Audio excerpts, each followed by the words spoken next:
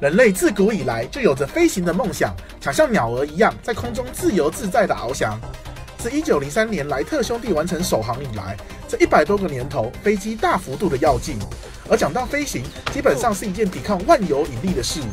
当鸟儿振翅，下方是高压区，上方是低压区，飞机冲刺时也产生了压力差，创造出升力。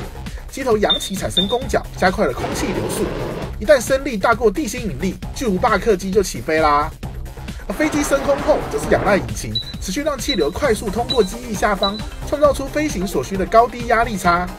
飞机刚起飞时速度较慢，但到了超过一万公尺的高空时，空气变得稀薄，飞机就必须要飞得更快，才能创造出升力。然而，空气稀薄也代表阻力减少，代表机师能用更低的油耗巡航。以上就是飞机能在空中翱翔的秘密，快买张机票翱翔天际吧！国际中心综合外电报道。